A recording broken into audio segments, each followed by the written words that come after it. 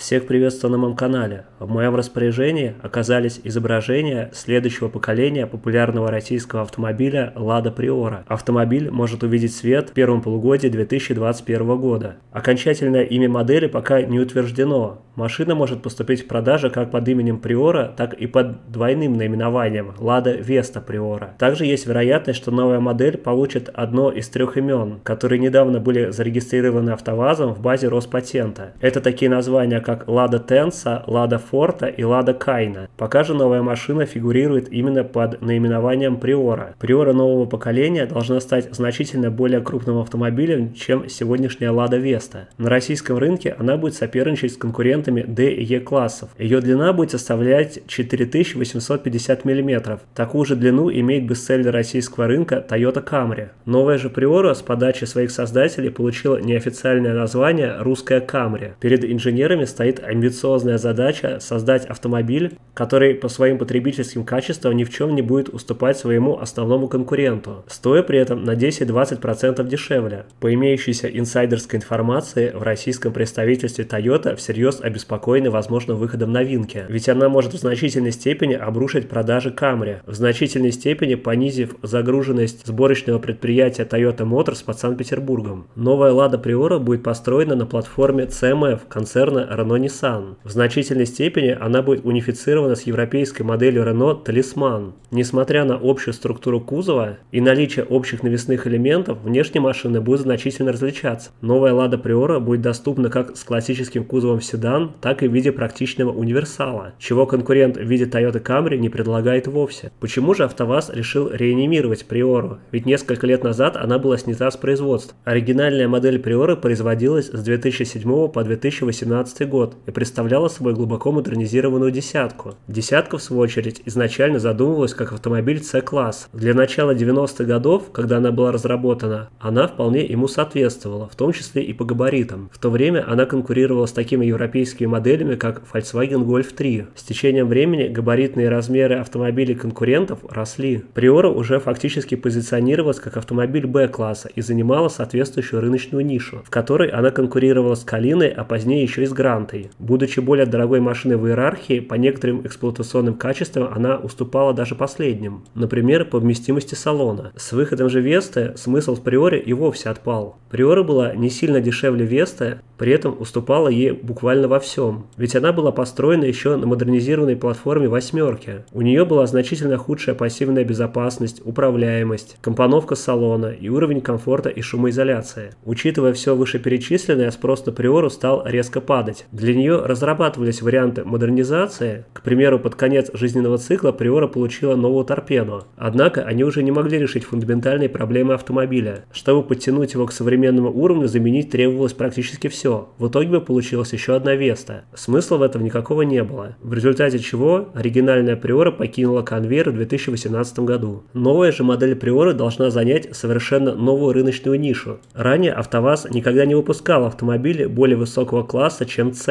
В настоящий момент топовая модель Vesta фактически относится к переросткам класса B, в то время как на машины C-класса на российском рынке спрос в значительной степени упал за последние годы. Покупатели предпочитают либо крупные седаны D и E классов, либо кроссоверы. Даже популярная на нашем рынке Skoda Octavia фактически является очень крупным представителем C-класса и по размеру салона конкурирует с машинами D-класса. В силу этого становится понятным, почему новая модель от АвтоВАЗа сразу стала метить в более популярные D и E сегменты сегменты. Как я уже сказал ранее, длина новой приоры будет соответствовать оной у Toyota Camry. В то же время колесная база автомобиля будет аж на 5 см больше, чем у Camry, что обеспечит хороший запас пространства для ног задних пассажиров. С точки зрения дизайна, новая Lada Priora выполнена в фирменном стиле современных моделей АвтоВАЗа, но есть различия. Например, у нее не будет характерных X-образных выштамповок по бокам. Связано это с тем, что часть наружных кузовных панелей будет взята непосредственно от Renault Talisman. Это позволит снизить необходимые инвестиции инвестиций в начало производства, благодаря возможности использовать готовые штампы, а не заказывать новые. Несмотря на это, передок автомобиля будет полностью оригинальным. Новая Lada Priora получит собственный бампер, фары, решетку радиатора и капот. Передняя часть автомобиля будет содержать в себе X-образную фигуру, ставшую уже фирменной фишкой дизайна модели АвтоВАЗа. Передняя оптика будет полностью светодиодной уже во всех комплектациях. Вообще передок автомобиля получился очень стильным и агрессивным. Кроме того, он не страдает от множества избыточных линий, как это часто случается с множеством новых моделей, дизайнеры которых стремятся выделиться из толпы любой ценой. Можно с уверенностью сказать, что дизайн новой Лада Приоры получился вне времени. Он будет способен сохранять актуальность в течение 5-10 лет, которые будет выпускаться новая машина. Сзади новая Приора будет выглядеть не менее привлекательно. Она получит стильные задние светодиодные фонари, которые будут расположены горизонтально. Номерной знак будет расположен на заднем бампере, что понравится, однако, далеко не всем. Однако это касается седана. Универсал получит гораздо более низкий задний бампер, в результате чего номерной знак такой машины приедет на крышку багажника. Решение с низким задним бампером сделано с целью более комфортной погрузки багажа в автомобиле. Сама Приора с кузовом Универсал отнюдь не выглядит как сарай. По динамичности профиля она вполне способна поспорить с седаном. При этом, в отличие от Веста Универсала, который обладает достаточно скромным для такого типа кузова багажным отделением, багажник Приора Универсала будет включать в себя 572 литра полезного объема, а при сложных сиденьях он уместит в себя 1681 литр. Багажник седана сможет вместить в себя 608 литров, что тоже достаточно немало. Новая Lada Priora получит современный и качественный интерьер. У автомобиля уже начиная с базовой комплектации будет полностью цифровой приборный щиток. Водитель сможет его настроить по собственному усмотрению и выводить именно ту информацию, которая ему требуется в данный момент. Он будет иметь несколько вариантов оформления, включая нарисованные аналоговые шкалы, полностью цифровой щиток, либо вариант, при котором основное пространство будет занимать информация с навигационной системы. Информация с приборного щитка также сможет транслироваться на проекционный дисплей, который, однако, не будет базовым оснащением и будет предлагаться за доплату. На центральной консоли новой Lada Priora будет расположен вертикальный экран мультимедийной системы, занимающий практически все пространство. Современная мультимедийная система будет поддерживать сервисы Apple CarPlay, Android Auto и Яндекс.Авто. Кроме того, она сможет проигрывать видео в высоком разрешении и давать качественную картинку с камер кругового обзора. По своим возможностям, новая мультимедийная система Lada будет нагло превосходить то, что предлагает Toyota для своей Camry. Под экраном мультимедийной системы расположится аналоговый блок управления системой климат-контроля. Радует, что разработчики не стали делать его полностью сенсорным, ведь это так отвлекает от вождения. Новая Приора сохранит традиционный селектор выбора режимов автоматической коробки передач. Машина получит электромеханический стояночный тормоз. Салон новой Лада Приора будет полностью отделан мягким пластиком. По уровню воспринимаемого качества он должен значительно превосходить салон Toyota Camry, что может склонить чашу весов при выборе автомобиля покупателям именно в пользу Приоры. Новая Лада получит полный перечень средств активной и пассивной безопасности. Среди них ABS, ESP, система автоматического торможения, активный круиз-контроль, система удержания автомобиля в полосе и система камер кругового обзора. В зависимости от комплектации новая Приора может получить 6 или 8 подушек безопасности. В дорогих версиях у машины будет кожный салон, электроприводы передних сидений с памятью, амбиентная подсветка салона и панорамная крыша. Подразумевается, что владелец такого автомобиля может ездить не только спереди, но и сзади, то есть автомобиль будет использоваться с лишним водителем. Именно поэтому в дорогих комплектациях он может получить трехзонный климат-контроль и подогрев заднего дивана. Новая Lada Priora должна заменить Toyota Camry в качестве любимого автомобиля российских чиновников. Государственный заказ сможет в значительной степени подстегнуть ее производство и продажи. В плане технической части новая Lada Priora должна стать очень современным автомобилем. Ее снаряженная масса будет составлять приблизительно тонну 400 кг, что весьма мало для такого большого автомобиля. Та же Camry весит на 150-200 кг больше. Связано это с использованием высокопрочных сталей в конструкции автомобиля. Новая Lada Priora будет доступна как с передним, так и с полным приводом. При этом на переднеприводных автомобилях в качестве задней подвески будет использоваться торсионная балка, в то время как полноприводные машины получат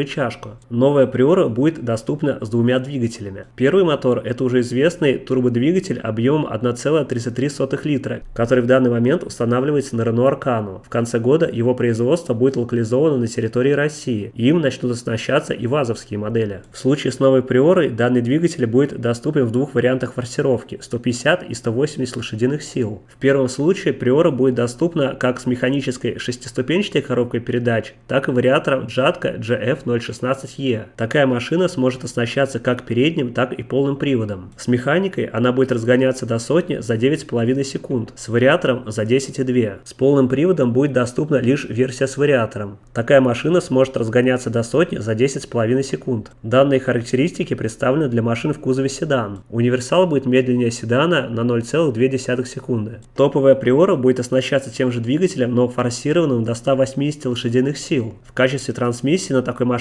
будет использоваться не вариатор, а роботизированная коробка DCT с двумя мокрыми сцеплениями. Такая машина сможет разгоняться до сотни за 8,5 секунд. Приора с мотором на 180 лошадиных сил и роботизированной коробкой будет доступна лишь с передним приводом. Приора со 150-сильным турбомотором будет конкурировать с двухлитровой Camry, а с двигателем форсированным до 180 лошадиных сил должна подвинуть Camry, оснащенную двигателем 2,5 литра. Появится и модификация Приора, оснащенная дизельным двигателем Renault мощностью 109 лошадиных сил. Такая машина будет оснащаться механической шестиступенчатой коробкой передач и будет доступна лишь с передним приводом. Такая Приора будет популярна в первую очередь в такси и в корпоративных парках, благодаря очень низкому расходу топлива. По трассе она сможет уложиться в 4-4,5 литра, в городе она будет расходовать 7-8 реальных литров. До сотни подобная машина будет разгоняться приблизительно за 12,5 секунд. В будущем возможно появление на базе универсала и версии Lada Priori Cross с увеличенным дорожным просветом и пластиковым обвесом по периметру кузова. Новое поколение Lada Priori может быть представлено в первом квартале следующего года, а в продаже автомобиль должен поступить во втором квартале. Цена на автомобиль должна начинаться от 1 миллиона 400 тысяч рублей, что уже сейчас дешевле, чем Camry на 250 тысяч. Однако это касается версии с механической коробкой передач. Версия с вариатором будет на 50 тысяч дороже. Базовыми станут именно машины с механикой, оснащенные либо бензиновым турбомотором на 150 лошадиных сил, либо 109-сильным дизелем. При этом бензиновая модификация будет более динамичной, а дизельная более экономичной за схожую цену. Хорошо оснащенная Приора с тем же 150-сильным мотором и вариатором будет стоить приблизительно миллион шестьсот, миллион семьсот тысяч рублей. Версия с полным приводом обойдется на 100 тысяч дороже. Топовая Приора со 180-сильным двигателем и роботизированной коробкой будет стоить приблизительно 1 миллион 900 тысяч рублей. Не стоит забывать, что к моменту выхода новой машины на рынок такие конкуренты, как Toyota Camry и Kia Optima, уже не раз